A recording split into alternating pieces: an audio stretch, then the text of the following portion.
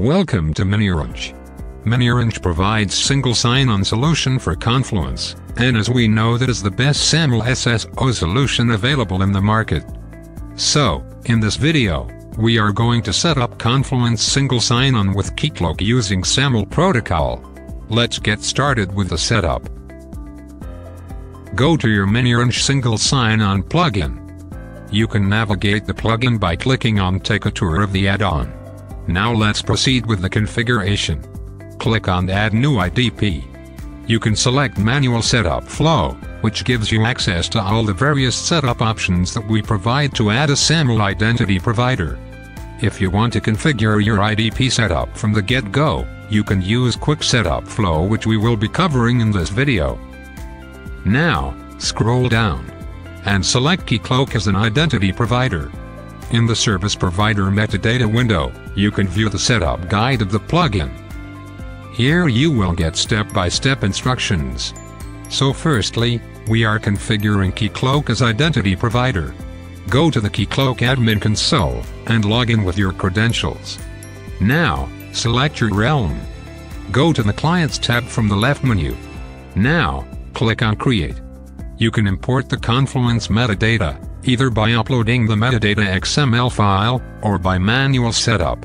Here we will add the metadata details manually. You will find the client ID in the plugin. Select manually configuring the data on your IDP. SP Entity ID is used to uniquely identify your service provider. Copy it and paste it in the client ID in the application. Select SAML as client protocol. Click on Save.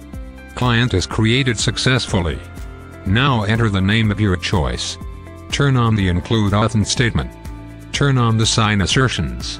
Set the signature algorithm as RSA, SHA256. Set the canonicalization method as exclusive. Go down. And turn on the force name ID format. For the name ID format, select email. However, you can keep it as username as well, which will then send username in the name ID attribute. You will find the valid redirect URL in the plugin. Copy ACS URL and paste it in the valid redirect URLs field in the application. Now scroll down and go to fine grain SAML endpoint configuration. Paste the copied ACS URL in the assertion consumer service post binding URL. Click on Save. Now, go to the Mappers tab. Click on Add Built-in. Select Email, given name, and surname. Then click on Add Selected. Now, let's set up Confluence as service provider. Go to the service provider metadata window in the plugin, and click on Proceed. Enter the custom IDP name of your choice. IDP metadata can be imported in one of the three ways. Metadata URL, metadata file, or manual setup. Here we will be going with manual setup. Scroll down. To find the single sign-on URL, go to the Keycloak. In the Realm Settings, General tab, you will find endpoints details. Click on SAML 2.0 Identity Provider Metadata. In this XML file, you will find Keycloak IDP metadata. Copy single sign-on URL and paste it in the given field in the plugin. Go back to the Keycloak metadata XML file. Then copy entity ID and paste it in the given field in the plugin. Again go to the Keycloak metadata XML file and copy the signing certificate and paste it in the given field in the plugin. Now, click on Save. After saving the SAML settings, go down to the test and get attributes URL. Copy it. Go to the incognito window. And in the location bar, paste the copied URL from the plugin, and press enter. And you can see successful test configuration here, along with email, name ID, first name, and last name. You can scroll down to check SAML request and SAML response. Go back to the plugin and click on Proceed. In the User Profile section, you can map the user profile attributes. We had configured name ID format as email ID and Keycloak. So you can either put email ID or name ID for the email attribute here. As Keycloak has separate attributes for first name and last name, select Yes from the given drop-down. Now for the first name attribute, select first name. And for the last name attribute, select last name. Click on Save and Proceed. From this drop-down, configure the default group that will be used to grant application access to the user. If no group is mapped, then the users are added by default to the Confluence users group. And from this drop-down, you can choose which user would be assigned the default groups.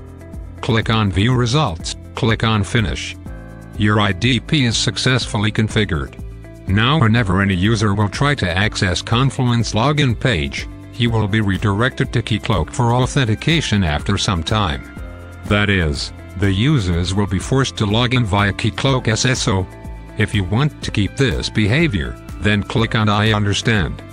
But if you want to change the behavior and show both Confluence login page and Keycloak SSO button, then click on Sign in Settings link.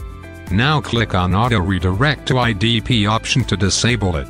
Scroll down and click on Save. Now, navigate to the Configured IDPs tab from the left menu. You will find all the configured IDPs here. You can view, test, edit, or delete your configuration here. You can also enable or disable SSO for the Keycloak IDP. As your test connection was successful, now you will see SSO button on the Confluence login page. Click on Use Corporate Login button and you will be redirected to Keycloak login page for SAML authentication. Now enter your Keycloak credentials and click on Sign In button. You will be successfully logged into your Confluence dashboard using Keycloak credentials. Go to the user profile to check the user data. And you can see the user's full name and email ID here. MiniOrange provides best single sign-on solutions. Thanks for watching.